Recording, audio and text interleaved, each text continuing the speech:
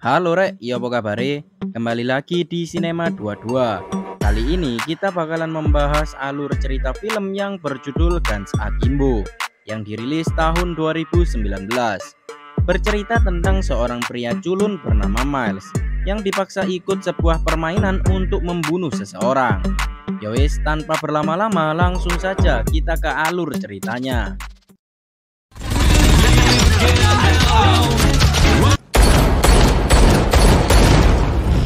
Di awal film kita dijelaskan tentang situs dark web yang bernama Schism.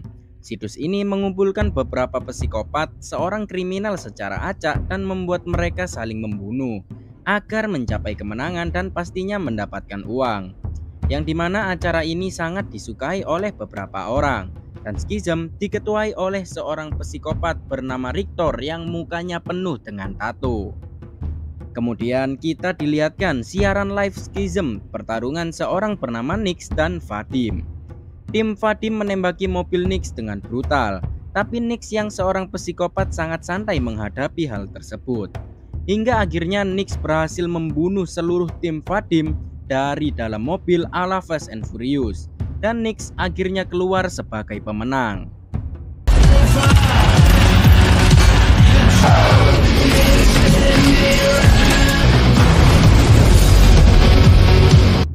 Kemudian scene berganti ke tokoh utama kita yang bernama Miles. Ia merupakan seorang programmer untuk membuat game.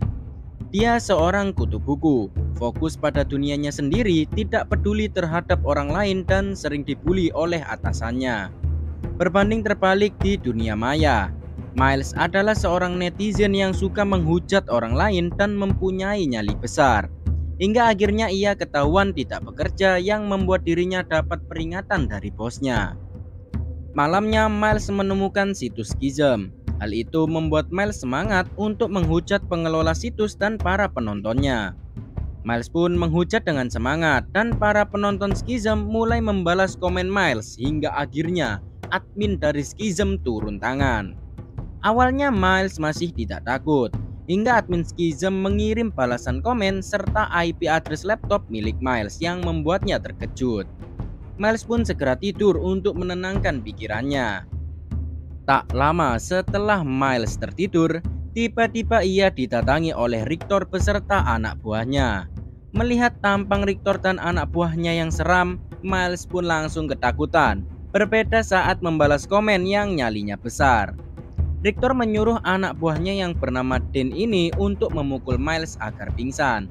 Tapi Miles tak kunjung pingsan. Anak buah lainnya yang bernama Evie langsung menembakkan bius dan membuatnya pingsan. Miles sempat terbangun dan melihat tangannya yang dibor oleh Den. Mendengar Miles berteriak, Den pun langsung memukul Miles sampai pingsan lagi.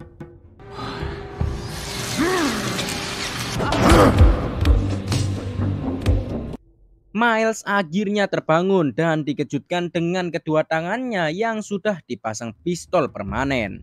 Dan tangan Miles juga dibaut agar pistolnya tidak lepas. Masing-masing pistol memiliki 50 peluru. Jika habis, Miles tidak bisa isi ulang pelurunya.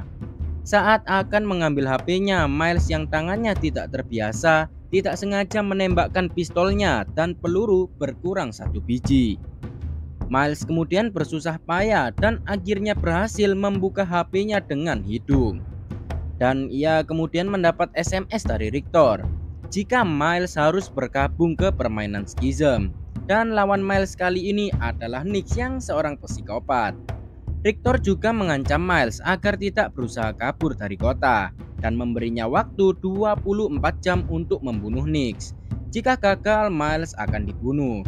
Jika berhasil, Miles akan tetap hidup dan dipaksa bergabung bersama Schism. Kemudian scene berganti ke Nix malam hari di mana Miles didatangi oleh Rictor. Terlihat Nick sangat mudah membantai parah musuhnya sampai tak tersisa.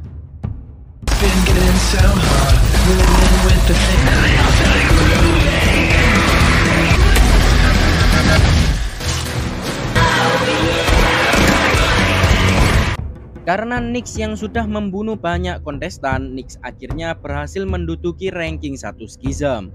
Setelah pembantaian tersebut, polisi akhirnya datang, tapi Nix berhasil kabur. Nix kemudian disuruh Rictor untuk membunuh Miles. Jika berhasil, Nix bisa keluar dari skizem. Nix pun tanpa basa-basi langsung menyelinap ke kantor polisi untuk mencari tahu identitas Miles. Tapi saat ketemu, hal itu membuat Nix terkejut karena ia disuruh membunuh seseorang yang tidak punya catatan kriminal sekalipun. Tentu saja karena Miles yang culun. Miles yang sudah ada janji bertemu dengan mantan pacarnya mencoba untuk memakai celana. Tapi hal itu tidak bisa dilakukan karena tangan Miles yang hanya bisa memegang pistol. Miles juga kesusahan saat akan buang air kecil dan takut jika burungnya tertembak. Karena tidak bisa apa-apa, Miles memutuskan untuk memakai baju seadanya dan membawa ponselnya. Tapi belum sempat keluar apartemen, ternyata di sana sudah ada Nix langsung menembaki Miles.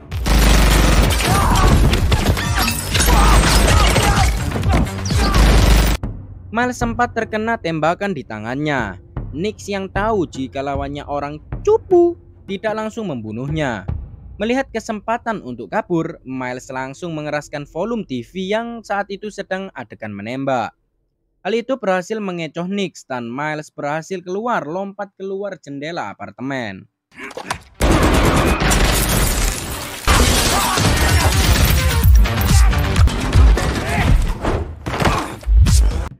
Miles yang berhasil kabur melihat ada polisi dan segera meminta bantuan ke kedua polisi tersebut. Tapi hal itu tidak berhasil karena polisi menganggap Miles seorang penjahat karena ia memegang senjata. Miles pun segera kabur sambil dikejar-kejar polisi.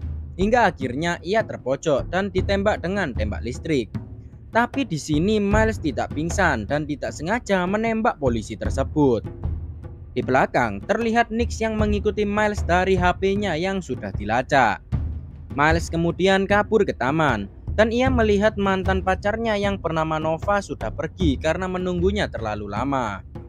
Miles segera masuk ke mobil Nova dan segera pergi sebelum Nix meledakkan mobil Nova. Terlihat di sini anggota Skizem merupakan seorang hacker, bisa mengakses seluruh CCTV kota dengan sangat mudah. Dan para penonton sangat menikmati pertarungan antara Nix dan Miles. Setelah berhasil lolos, Miles mencoba jujur untuk menunjukkan tangannya yang sudah dipasang pistol. Dan ia juga menyuruh Nova untuk tidak panik. Tapi sayangnya saat tangan dikeluarkan, Nova pun panik dan menyemprot Miles dengan semprotan bawang. Nova kabur, sedangkan Miles bersembunyi di sebuah tong pembuangan pakaian. Beberapa saat kemudian, Miles akhirnya keluar dan mencoba memakai pakaian dari tong tersebut. Tapi sayangnya hal itu sangat susah dilakukan, sampai-sampai Miles putus asa mau bunuh diri. Tapi di sana dia tidak jadi bunuh diri karena ia tak sengaja bertemu dengan gelandangan. Miles kemudian meminta bantuannya untuk membantunya memakai pakaian. Setelah dibantu, kemudian Miles akhirnya sadar jika ponselnya telah disadap dan ia kemudian segera pergi ke kantor untuk menghapus penyadapnya dengan meminta bantuan temannya yang bernama Hadley. Hadley kemudian berhasil mematikan pelacaknya dan disetting agar nanti bisa diaktifkan lagi. Tak lama kemudian atasan Miles datang, marah dan langsung membuli Miles hingga akhirnya Miles marah dan menodongkan pistolnya ke bosnya. Lalu tiba-tiba terjadi baku tembak di kantor. Miles yang tidak bisa apa-apa hanya bisa kabur dan bersembunyi.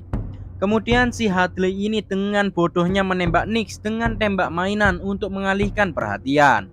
Hal itu membuat penonton sangat senang dan terhibur, dan penonton skizem semakin bertambah. Miles yang berhasil kabur mencuri sebuah mobil, sedangkan Nix mencuri motor. Terjadi baku tembak di jalan raya. Nix mulai menembak, sedangkan Miles yang kedua tangannya menyetir hanya bisa bersembunyi. Nix kemudian freestyle dan langsung naik ke atap mobil. Hal itu membuat mereka berdua tidak melihat ke depan dan akhirnya terjadi kecelakaan.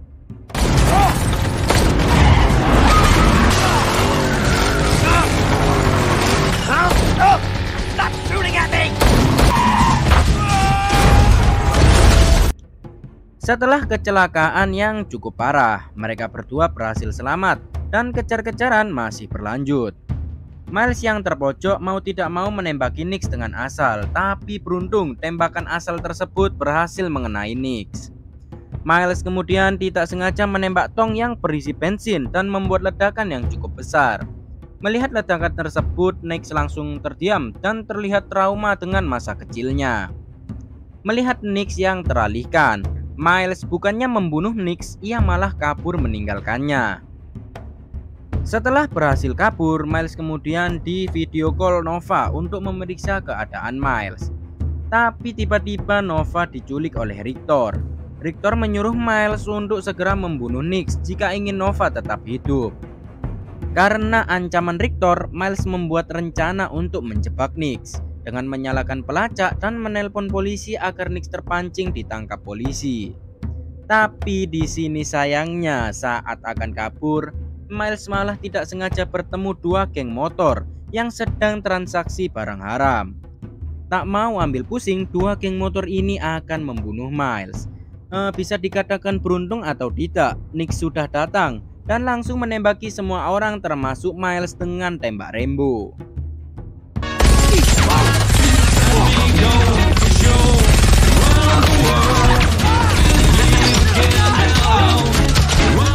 Miles pun kabur dengan dikejar salah satu ketua geng. Miles yang panik terjatuh dan tidak sengaja menembak leher ketua geng sampai tewas kehabisan darah.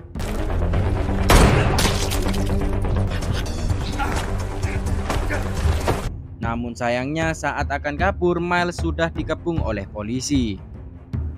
Miles akhirnya ditangkap dua detektif.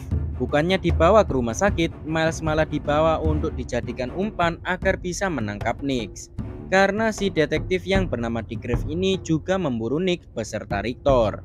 Karena dulunya Richter sempat ditangkap oleh Dick Setelah bebas, Richter balas dendam ke Dick dengan meledakkan mobilnya yang menewaskan istri beserta anak laki-lakinya. Yang ternyata anak perempuan Dick adalah Nix. Karena peristiwa tersebut, Nix akhirnya menjadi seorang kriminal. Saat sampai di tujuan, tiba-tiba Degriff ditembak oleh rekannya yang bernama Stanton, sekaligus anak buah Richter. Stanton kemudian menunjukkan rekaman Richter yang memberi Miles tambahan waktu 30 menit untuk membunuh Nix jika ingin Nova tetap hidup. Miles pun langsung pergi ke sebuah warnet untuk melacak ponsel Nova yang ternyata pemilik warnet mengenali Miles dan menunjukkan jika Miles sangat terkenal sampai menjadi kontestan skizem dengan penonton terbanyak. Setelah mendapatkan lokasi Nova sekaligus markas skizem, Miles segera menuju TKP dan ia kemudian bertemu dengan Richter yang membunuh seseorang sebagai peringatan untuk Miles. Nah, si Miles ini menganggap jika orang yang ditembak adalah si Nova, padahal yang dibunuh adalah Hadley, teman kerja Miles yang sempat membantunya. Miles akhirnya datang ke sebuah tempat dengan menyalakan pelacaknya. Tak lama kemudian benar saja Nix datang. Miles bilang ke Nix jika pembunuh keluarganya adalah Richter. Richter ini memasukkan Nix ke skizem agar Nix tidak mencari tahu pembunuh keluarganya. Dengan begitu Richter akan aman. Miles juga menunjukkan ayah Nix yang sudah dibunuh oleh anak buah Richter.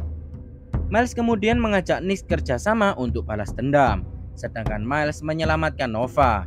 Nix akhirnya menyetujui hal tersebut. Rencana Miles adalah dengan memakai rompi anti peluru milik The Grave dan pura-pura mati setelah ditembak Nix. Rencana pun akhirnya berjalan. Miles di sebuah tempat terbuka pura-pura basa-basi dengan Nix, dan Nix pun langsung menembak Miles berulang kali di badannya. Ternyata rencana tersebut berhasil yang membuat Richter dan para penonton percaya jika Miles sudah tewas.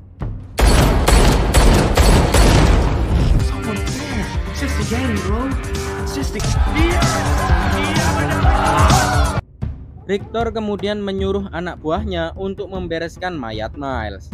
Tapi saat sampai di markas skizem, Miles yang dibungkus plastik bangun, langsung menembak kepala dua penjaga tersebut dan membukakan pintu untuk Nix yang sudah mengikuti dari belakang. Mereka berdua pun langsung membunuh semua penjaga di sana. Miles yang awalnya hanya orang cupu sekarang menjadi orang yang kejam, membunuh semua penjaga.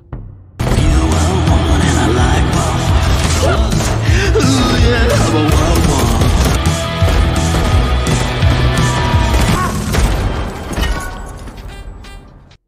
Hal itu membuat Victor kesal dan menyuruh Dean beserta Evie menghabisi mereka berdua.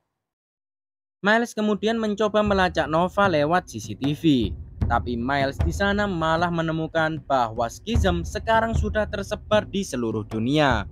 Lalu tak lama kemudian Evie datang menembaki mereka berdua.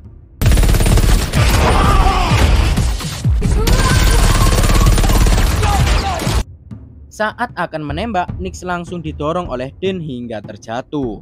Nix akhirnya harus bertarung melawan Dean sampai kedua jarinya putus terkena lemparan pisau. Dan di sini Nix harus kalah dari Dean. Di waktu bersamaan, Miles juga terpojok dengan kedua tangannya diinjak oleh Evie. Hammer time.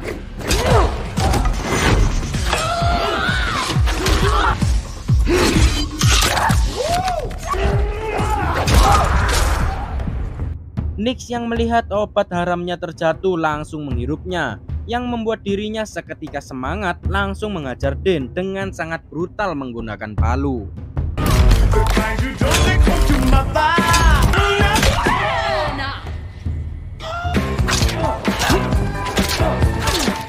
Den yang tahu jika Nix takut dengan api mencoba meledakkan tabung gas di sana. Namun sayang koreknya tidak mau menyala. Lalu tiba-tiba Miles datang langsung menembak yang membuat gas langsung meledak menewaskan Dean. Richter yang tahu jika ia tidak akan selamat segera membawa Nova pergi ke atap menunggu jemputan helikopter. Saat akan pergi ke atap, Richter melihat Stanton dan menyuruhnya untuk membunuh Nix dan Miles. Tapi di sini Stanton tidak mau, yang membuat Richter kesal menembak kakinya dan membunuh Stanton sambil terekam benar-benar ciri khas seorang psikopat. Saat Richter teralihkan oleh Stanton, Nova di sana meninggalkan jejak bertuliskan atap di tembok agar saat Miles mencari tahu lokasinya ia dapat ditemukan. Karena masih banyak penjaga di dalam, sedangkan mereka berdua hanya memiliki sedikit amunisi, Nix akhirnya memutuskan untuk bunuh diri dengan meledakkan diri dan membuat semua penjaga terbunuh.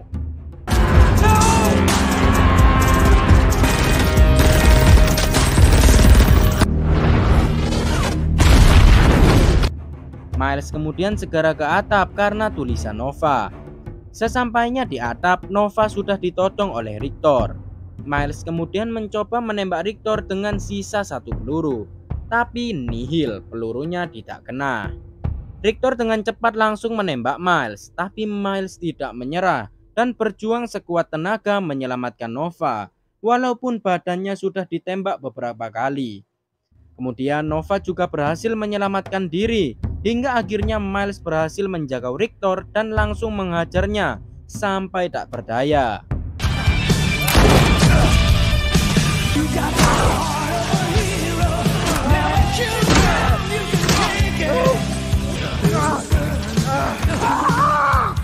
Kemudian Miles langsung melempar Richter dari atas gedung yang membuatnya tewas seketika. Beberapa hari berlalu, ternyata Miles berhasil sembuh dari tembakan yang cukup parah. Dan terlihat Nova membuat komik berdasarkan kisah nyata dari Miles. Di sini tanpa diduga-duga, Miles sekarang menjadi orang yang berbeda 180 derajat karena sekarang ia berencana untuk membasmi skism yang ada di seluruh dunia. Dan film pun berakhir. Itulah guys alur cerita film Guns Akimbo. Pesan yang saya dapat dari film ini berbijak-bijaklah dalam menggunakan sosial media. Dan jangan membuat hati orang terluka karena ketikan kita. Untuk kalian yang suka channel tentang alur cerita film, jangan lupa untuk subscribe dan nyalakan tombol loncengnya agar kalian mendapatkan notifikasi video baru dari channel ini. Sekian dan sampai jumpa.